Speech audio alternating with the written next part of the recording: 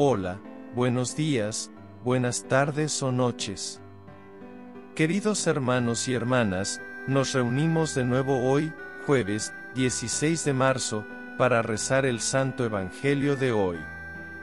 Hemos recibido muchos mensajes de varios hermanos y hermanas pidiendo oraciones de liberación y curación para conseguir un trabajo, tener abundancia en su hogar, por la paz en la familia, por la curación de un familiar, para enfermedades, otras adicciones, liberación de las drogas y el alcohol. Sabemos lo difícil que es para algunos llevar sus cargas. Situaciones que a veces ni siquiera podemos imaginar, pero Dios proveerá. Por eso te invito, hermano o hermana, a que nos acompañes en la lectura del Evangelio y en las reflexiones de hoy. El Evangelio es la palabra de Dios. Dios que todo lo sabe, que todo lo ve, que todo lo puede. Necesitamos estar con Él, estar en oración. Conectar nuestro espíritu con el Altísimo, mantener nuestra fe en Cristo. Nuestro Maestro y Libertador, con su poder sanador, actuará para liberar cada uno de nuestros problemas, para traer la solución a cada uno de nosotros. Antes de eso, les pido que nos ayuden a llegar a más hermanos y hermanas que puedan estar necesitados de una oración, de una palabra que toque sus corazones. Deja en los comentarios tu petición de oración, el nombre de la persona a la que debemos pedir a Dios y a la Virgen que intercedan por una gracia. Deja tu testimonio, esto solo glorifica su nombre, y sabremos que nuestro objetivo se está logrando. Suscríbete al canal, deja tu like, comparte este video con más gente, así YouTube recomendará este video, amén. Vivimos en una época en la que las posturas respecto a Satanás son contradictorias. Hay quien dice que el diablo no existe, que es una especie de personificación de las tendencias e inclinaciones malignas de las personas y que esa historia de un ángel caído no es más que mitología. Por otra parte, hay quienes absolutizan la acción del diablo, de modo que todo es el enemigo actuando, es fruto del maligno y otras cosas por el estilo. La Iglesia afirma la existencia del diablo, pero también afirma que el poder de Dios es infinitamente mayor que el suyo.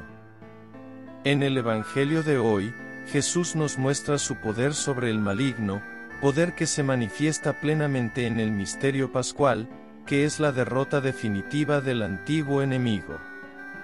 En el nombre del Padre y del Hijo y del Espíritu Santo. Amén. Y para que seamos dignos del reino de los cielos, oremos con nuestra oración en Cristo. Oremos agradeciendo y dando gracias al Señor por el milagro que es nuestra vida, nuestra salud, la salud de nuestros familiares. Demos gracias por las gracias que recibimos cada día y no nos damos cuenta. Pidamos bendiciones para todos aquellos que están pasando por momentos difíciles, que tienen problemas de salud, que están pasando por momentos difíciles. Deja que tu corazón se desborde, di estas oraciones. Una vez más nos reunimos para orar y adorar a Dios. Dios Todopoderoso Padre, el Creador del cielo y de la tierra. Amén. Primera lectura. Esta es la nación que no ha escuchado la voz del Señor, su Dios. Lectura del libro del profeta Jeremías, capítulo 7, versículos 23 al 28. Esto dice el Señor. Esta es la orden que di a mi pueblo. Escuchen mi voz, y yo seré su Dios y ustedes serán mi pueblo. Caminen siempre por el camino que yo les mostraré, para que les vaya bien. Pero ellos no escucharon ni prestaron oído. Caminaron según sus ideas, según la maldad de su corazón obstinado. y en vez de darme la cara, me dieron la espalda, desde que sus padres salieron del país de Egipto hasta hoy. Yo les envié a mis siervos, los profetas, un día y otro día. Pero ellos no los escucharon ni les prestaron oído. Endurecieron su cabeza y fueron peores que sus padres. Tú les dirás, pues, todas estas palabras, pero no te escucharán, los llamarás y no te responderán. Entonces les dirás. Este es el pueblo que no escuchó la voz del Señor, su Dios, ni aceptó la corrección. Ya no existe fidelidad en Israel, ha desaparecido de su misma boca. Palabra del Señor. Gloria a ti, Señor Jesús.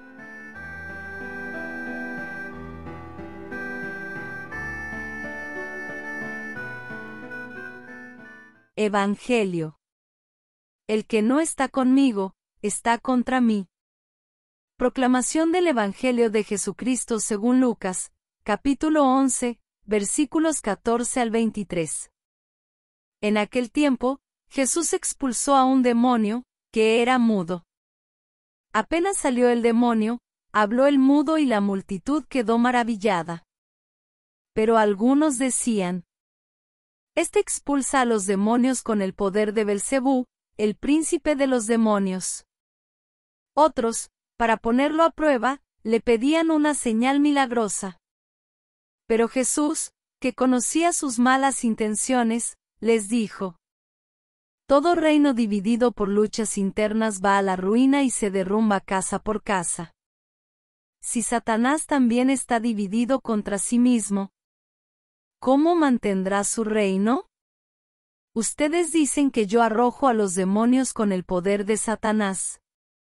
Entonces, ¿con el poder de quién los arrojan los hijos de ustedes? Por eso, ellos mismos serán sus jueces.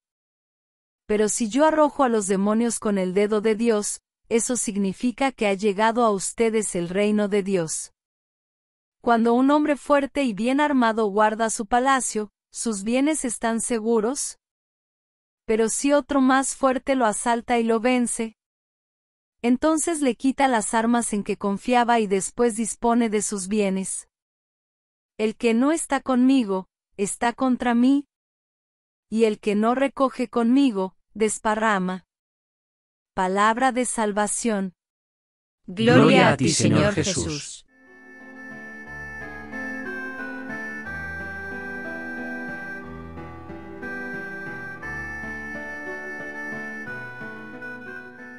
Yo seré vuestro Dios y vosotros seréis mi pueblo. Jeremías, con estas palabras, reitera la alianza eterna de Dios con su pueblo. La pertenencia y propiedad son recíprocas. De nuevo queda patente la fidelidad de Dios y la infidelidad humana. Dios, para que nos vaya bien, nos sigue rogando que caminemos por el camino trazado por Él, aunque tenga que declarar, y nosotros reconocer, que no hemos hecho caso de sus ruegos y consejos. En el Evangelio, se nos mostrará un poseído por un demonio mudo, al que Jesús tiene que sanar para que pueda, sin trabas, comunicarse y encontrarse con los demás y con Dios.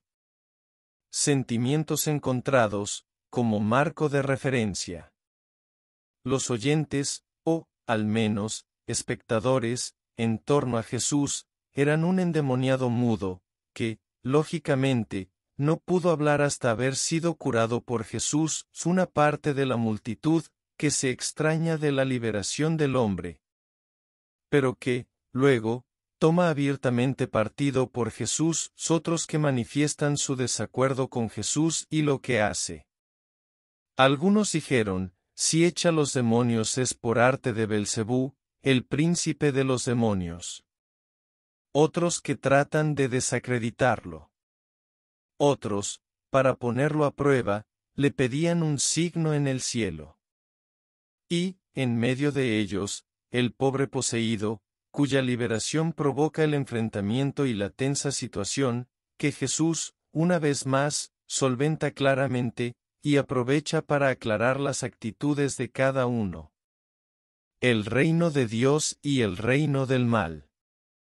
San Mateo nos señala que Jesús, al comenzar su andadura pública, recorría toda Galilea enseñando en las sinagogas, proclamando el Evangelio del reino y curando las enfermedades y dolencias del pueblo. Hoy, como signo de esa proclamación, Jesús cura al poseído por aquel demonio mudo, y, de esta forma, su vida dejó de ser inhumana, y su humanidad y bienestar hizo presente, de alguna forma, el reino de Dios. El reino del mal está representado por el demonio que impide toda comunicación al provocar en la persona humana la imposibilidad física de hablar, el silencio deliberado y persistente, conducente a la soledad, reclusión y aislamiento más absoluto. Bien es cierto, que puede que haga más daño todavía el demonio que, sin impedir físicamente hablar, obstaculiza e imposibilita la comunicación, como les pasaba a los que, viendo el milagro de Jesús, trataban de desacreditarlo, confundiendo la buena fe de otros seguidores suyos. Cada uno tenemos nuestros demonios, debilidades y tentaciones. Conocerlos nos ayudará a evitar sus peligros. Pero, al final, después de poner de nuestra parte lo que podamos, lo más honrado y lo más cristiano, será siempre seguir pidiendo. Señor, no nos dejes caer en la tentación, y líbranos del mal. Amén.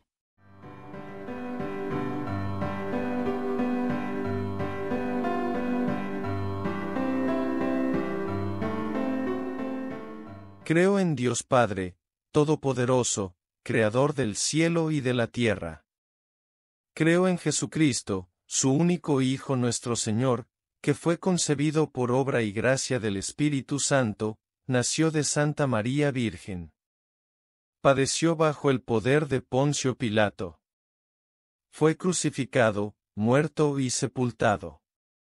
Descendió a los infiernos. Al tercer día, resucitó de entre los muertos subió a los cielos y está sentado a la derecha de Dios Padre Todopoderoso. Desde allí ha de venir a juzgar a los vivos y a los muertos. Creo en el Espíritu Santo, en la Santa Iglesia Católica, la comunión de los santos, el perdón de los pecados, la resurrección de la carne y la vida eterna. Amén. En efecto, es justo y necesario, es nuestro deber y nuestra salvación, darte gracias siempre y en todo lugar, Señor, Padre Santo, Dios eterno y todopoderoso, por Cristo nuestro Señor. Él es tu palabra viva, por la cual creaste todo. Él es nuestro Salvador y Redentor, verdadero hombre, concebido del Espíritu Santo y nacido de la Virgen María. Él, para cumplir tu voluntad y reunir un pueblo santo en tu alabanza, extendió sus brazos en el momento de su pasión para vencer a la muerte y manifestar la resurrección. Por él los ángeles celebran tu grandeza y los santos proclaman tu gloria.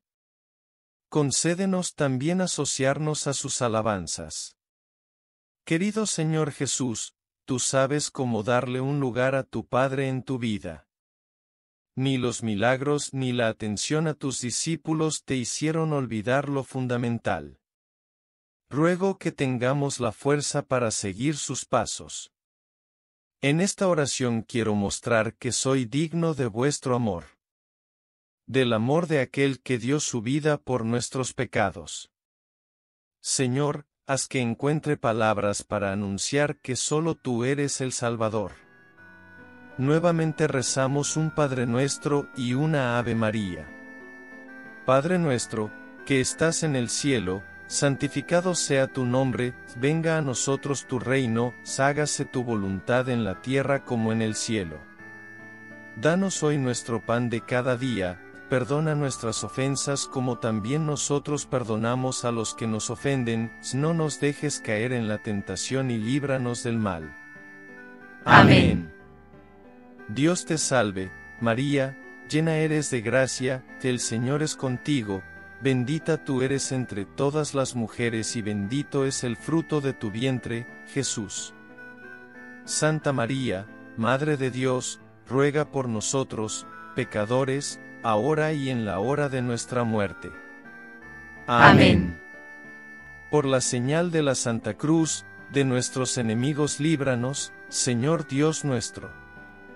En el nombre del Padre, del Hijo y del Espíritu Santo. Amén. Este canal fue creado para llevar la palabra de Dios a todos los hermanos y hermanas de habla hispana. A través de la oración diaria, podemos sentir la presencia de Jesús, nuestro divino Padre Eterno, nuestra amada Madre María y todos los santos en nuestros corazones. Trabajamos con el máximo compromiso para producir audio y video de calidad para anunciar la palabra de Dios. Nuestro objetivo es llevar la palabra de Dios a todos los países de habla hispana y contamos con tu ayuda para llegar a más países. Actualmente, solo el 4% de las personas que ven nuestros videos están suscritas al canal.